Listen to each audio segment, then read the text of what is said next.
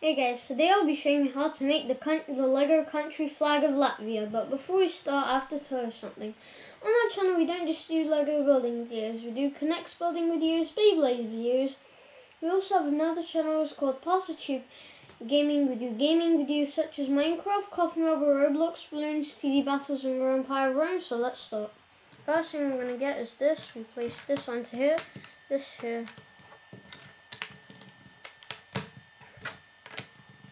Here's the finished country flag of Latvia. And the way to say white in Latvian is Balts. and the way to say carmine red is Sarkans Karmins.